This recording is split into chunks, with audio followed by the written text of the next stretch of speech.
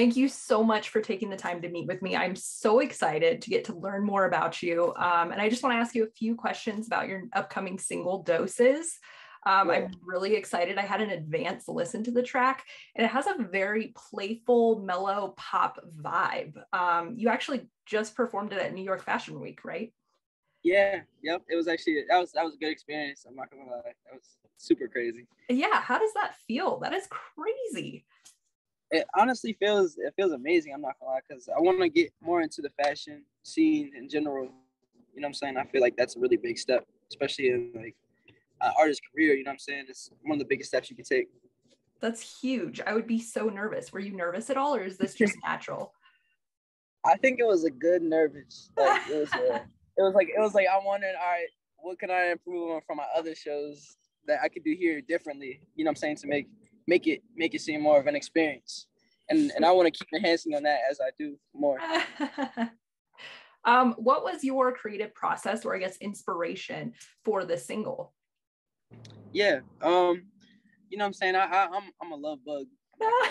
so, you know what I'm saying? Uh I, I had to I had to my music has been very I could say like a sad feel to it uh in the past. So this record I wanted to be more more of a happy vibe, more of a you know what I'm saying, something that people could actually have a good vibe to and really really just be more happy when they listen to me. You know what I'm saying? And this was more about love more about wanting love instead of actually wanting to push it away.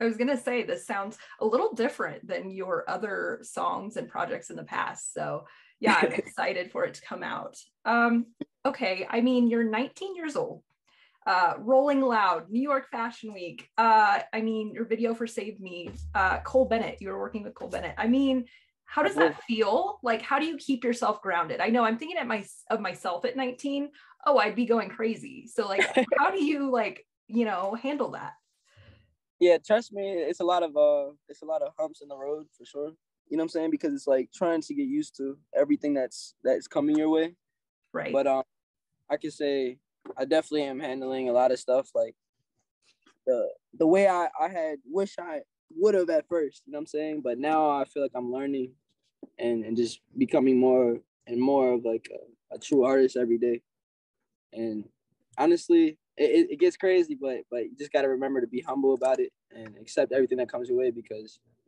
not this much stuff has happened before at all. You know? Yeah. I would argue that you're part of this like modern new wave sound, this like renaissance of rap, if you will, of, you know, these different young artists coming in and kind of shaking things up. You know, your sound is completely different than other rappers um, you know, it you see and hear different parts of different genres. Um, you know, how would you describe your style? Do you have a genre that you think you are? Um, I would say I would say I'm a pop artist. Um, just just because of the fact that uh, like even in rap, even in rap, I like to use pop melodies, like, and but I think it's really versatile. I try to be as versatile as I can be, just be out of the box, honestly. Like I'm ready just to expand my audience as much as I can. That's awesome. Um, I know Kevin shared with me, shout out to Kevin, um, that your mom was actually in a band back in the day. Yep, yep. Their name was Chick Flick. Oh my, tell me about that. I mean, yeah, I, that is crazy. I, I, used to watch her. I used to watch her all the time, like perform, um, because she used to perform at like bars and and and you know I'm saying a lot of local places. So I used to be able to actually go out with and see her actually perform. and It was cool to see. And also, I used to watch them practice in the basement all the time. That's really where I got my spark from. I feel like because I just would see them in the process of of getting ready to actually go out and do that in front of people. I just, how does it come full circle? Like now, your mom is watching you perform. I mean, it's crazy. yeah, it, it's kind of it's kind of crazy, but she loves watching like lives or, or live streams and everything. She's she's not much of an outside person, so she does like to be in the house. You know what I'm saying? But I can uh, relate. I can relate. Definitely, she loves she loves seeing everything happen, and, and I do want to bring it to to whenever I'm on tour or or you know I'm saying just really going crazy, especially like international. Yeah, definitely. Yeah. Can we anticipate a tour from you soon? Yes, you can. Honestly, I'm gonna and know that it's gonna be one of the craziest tours you've seen. Yes. I think one of the most unique things about your sound is that um, you know you're not afraid to tap into your emotions and have a lot of this feeling. I know you mentioned that it's you know some of your previous singles have been a little sad or more on the like melancholy vibes. Um, where do you get that? What do you think uh, motivates you to show that emotion and those feelings? I mean, it's probably hard being a young 19 year old being so vulnerable.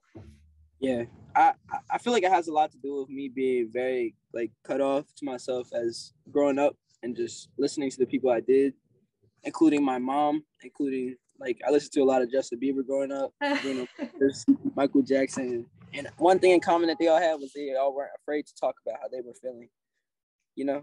So uh, I feel like a lot of that music inspiration really rubbed off on me as a kid, and now I'm I'm not afraid to really talk about anything that's going on in my life.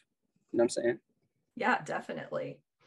Um, what has been the biggest struggle that you found um, you know on the come up with fame and popularity and just your music growing what's been the biggest challenge or hurdle um i feel like it's getting used to it uh getting used to a lot of like things that come your way and and just being able to handle it in a light manner you know what i'm saying to understand that everything is always going to be different like this you always gotta you always gotta reach more out the box to actually obtain the goals that you really want to go for.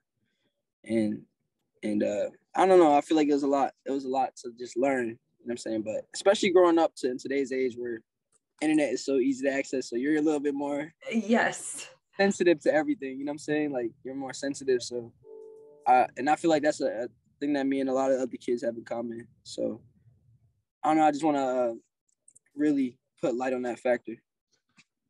That's amazing um, where do you see yourself, you know, just in the near future, even like the next five years? Like, what's your biggest goal? What do you want to accomplish? I want to sell out Madison Square Garden. Oh, I want to sell out Madison Square Garden. I want to, I want to go um, across seas and do some of the fashion shows. Um, and I want to get multiple number one records. That's amazing. Uh, going back to your mom, that brings me to my next point. Uh, you know, did she kind of take you seriously when you were getting into music? Did she support you, or was it kind of like, oh, just a hobby? Uh, I was my number one supporter ever since. Oh wow! Like, day one, like even I honestly, I'm, I'm I feel like I'm too lucky to have her because like doing bad in, in school. I wasn't doing bad on purpose. It's just like, I was good in school whenever I was there, it was just I had a hard time waking up.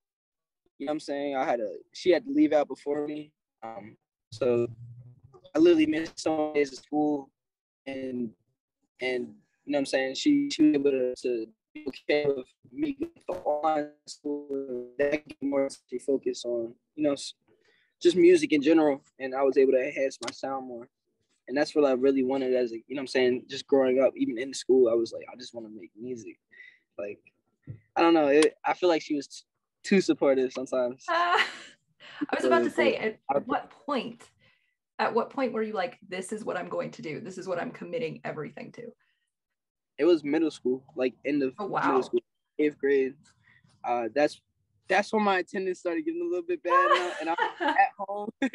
I was at home working on music, so I was just like, "Yeah, this is kind of what I love, though," you know yeah, the truancy officer. Right now, we're on, we're under I don't know where. oh, that's amazing. I was gonna say the truancy officer is probably watching this, and you're just airing out all your dirty laundry here. Um, I guess I have to ask. I know you've probably answered this a million times. I know this, but uh, what does the X stand for in your name? Why choose that? Um, I put it in my name. Uh, not much longer after XX X had passed away. Yeah. And that's just because I I did it in a sign of respect because he he had a good message as into just not letting like other people's opinions bring you down and, and always go about positivity even when you're negative, you know, just because that energy really affects other people around you. So I, I, I took that as a, a, very great message, you know what I'm saying? And I, I just rolled with that throughout the rest of my time. I never want to shed any light, negative light on anybody, you know? yeah i think that's extremely refreshing to hear that positivity and just paying you know homage to people that you are influenced by and i think that's huge Um, I have one more question for you. I promised I would keep this short. Uh, going back to your upcoming release of Doses, um, what do you hope for when your fans listen to it? I hope they hear the new me. yes, I could definitely hear that. I hope they hear the new me and see the new me. You know, I'm pretty sure they see it already. They saw the haircut. They're like, damn. Uh, I know. I was like, the new hair, the fresh cut. You know what I'm uh, saying? Uh, I'm, I'm I'm trying to look like a pop star here, not, not a rapper. a rapper. Do you think they're gonna be receptive to it? Do you think you're gonna get any hate? No, I, I I've mostly seen um good comments, honestly, and there's only a few, a few that that will be like, "Why did you do that? Why did you cut your dreads?" it, it's just like a personal thing, you know. you gotta keep I mean, it fresh. you gotta keep and it's a worldwide thing. um, I lied. I have one more question. No, no, ask um, do you have any upcoming projects on the horizon? Yes, I have one that I'm working on right now called Loverville. Ooh. Gonna be my craziest project yet. I promise you. Ooh, what makes it crazy? I'm excited. Oh, it's so out of the box. It's insane to me. Like it's so out of the box. Like not even trying to hype myself up or anything. Just I'm just saying in general, it's out of the box. Like it doesn't sound like anything that's out right now. Can we anticipate a more pop vibe or a more sad vibe? I think a more pop vibe and R and B vibe. Um, something that everyone can groove with. Amazing. We're looking forward to it. Well, thank you so much for meeting with me. That means the world to me. Um, we are going to be working with Euphoria Magazine to get you some coverage on doses. Um, I'm excited for it to release. Um, I'm excited for Rolling Loud. I'm excited for everything. So thank you so much. We appreciate it so much. Thank you for having me. Yes, of course.